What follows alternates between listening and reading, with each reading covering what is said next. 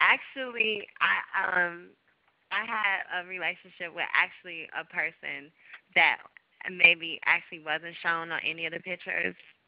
Okay. Um, he's like you know affiliated with um Young Money. Whoa. I don't know if you could probably get a hint from that.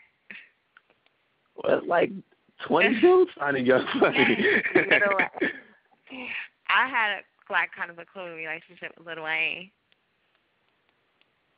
Okay. Was it Mhm. on the same level And- as Chingy, or you just was like? no, it was a little board? bit more. It was it was a little bit more less than that. Like it was probably just a, like a, uh, let's just say, um, kind of like a hitter and quitter.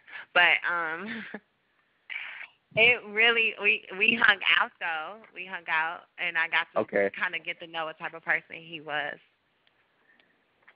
Whoa. which was a, a very weird person.